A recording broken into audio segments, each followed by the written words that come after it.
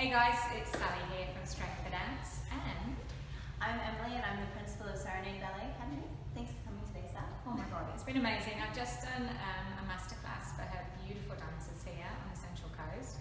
They were amazing, super strong. Thank you. it's the first time we've run it up here because it's our launch year. So I just want to get some feedback from an actual studio owner. It was a great workshop and it's nothing we've had here previously before.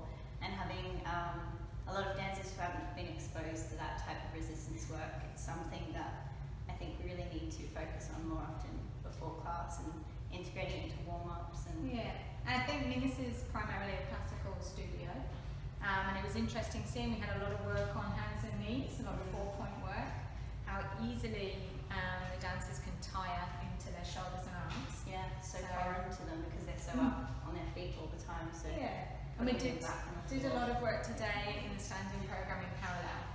Now that was on purpose to train the hips in a different position, Mm. and often makes it stronger that way working in parallel. Definitely. Yeah, Yeah. I can't wait to integrate more of it into the class. Thanks. Awesome. It was such an honour to be here. I've had a great time. Thank you. Thank you.